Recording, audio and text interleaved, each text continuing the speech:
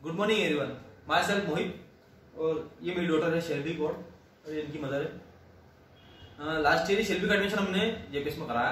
उससे पहले हम मतलब बहुत ज़्यादा कंफ्यूज हो गए थे कि शेल्वी का एडमिशन कौन से स्कूल में कराया।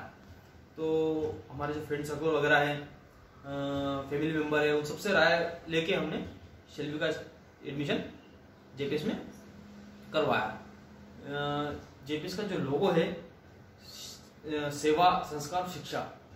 ये मेरे हिसाब से वो सिर्फ़ लोगों नहीं है, वो हमारी बच्ची को मिला भी वो हमारी बच्ची को मिला भी है मेरी सिस्टर खुद पहले जेपीएस में पढ़ती थी, लेकिन उस समय और आज में ज़मीन आसमान का मुझे ऐसा लगता है, मेरी पर्सनल राय है कि ज़मीन आसमान का फ़र्क है क्योंकि शायद उस समय इतनी फैसिलिटी जेपीएस में नहीं थी। और आज फैसिलिटी वगैरह सब मतलब कोई मतलब इसी बच्चों में कोई परेशानी वाली बात नहीं है।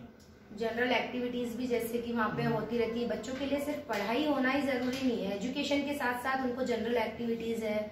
और उनको मतलब मोटिवेशन वगैरह मोटिवेट भी किया जाता है कि उनका मोटिवेट होना भी बहुत ज़रूरी है। मोटिवेटेड स्पीच होती है वहाँ पर एक्टिविटीज़ भी चलती रहती है। और त्योहारों का मतलब सारे सेलिब्रेशन के साथ साथ त्योहार सेलिब्रेशन भी होता है। मतलब त्योहार मनाए जाते हैं पर हम क्यों मनाते हैं? उन्हें ये भी समझाया जाता है। आजकल के बच्चों को मतलब जैसे कि त्योहारों का मतलब यही होता है कि घर में मिठाइयाँ बन जाती है, हम हमारे परिचितों से मिलते हैं और घर मतलब नए कपड़े पहनना, घूमना, फिरना यही पता होता है। लेकिन यहाँ पर बच्चों को समझाया जाता है कि हम त्योहार क्यों मनाते हैं। यदि हम रक्षाबंधन मना रहे हैं तो किस रीजन से मनाया जाता है? हम दीपावली मनाते हैं तो किस रीजन से मनाते हैं? और दशहरा मनाते हैं तो दशहरे का मतलब भी उन्हें समझ में आता है कि बुराई पर अच्छाई की जीत की वजह से हम दशहरा मनाया जाता है। बहुत सारी अच्छी बातें हैं जो जेपीएस में हमें मिली है। क्योंकि जब हमने एडमिशन करवाया था, जब हम सेटिस्फाइड तो नहीं थे, पर फिर भी हम थोड़े कंफ्यूज थे, पर फैमिली और सबके डिसीज़न था तो हमने जेपीएस को चूज़ किया था। बट अब हमें लग रहा है कि हमारा डिसीज़न बिल्कुल सही था।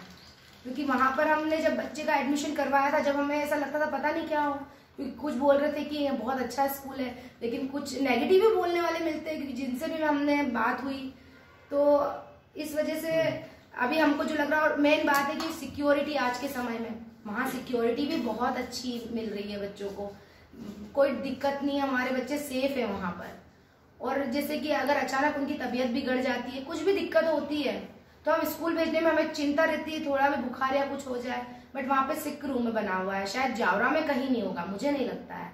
लेकिन जेपीएस में ये फैसिलिटीज़ भी है हम बेफिक्र होकर हमारे बच्चों को भेज सकते हैं। हमारे बच्चे वहाँ सेफ़ है। और हमको नहीं लगता कि हमारा डिसीज़न गलत रहा। तो देखा जाए तो हम तो बस ये कहना चाहते हैं कि हम जेपीएस में इसका एडमिशन कराने बाद में हम जेपीएस से फुल्ली सेटिस्फाई हैं। हम्म। और अगर आगे भी अगर हमें किसी को सजेस्ट करना रहा तो मैं जेपीएस के लिए करूँगी क्योंकि मेरा खुद का पर्सनल एक्सपीरियंस एक्सपीरियंस है। इसलिए। Okay thank you thank you so much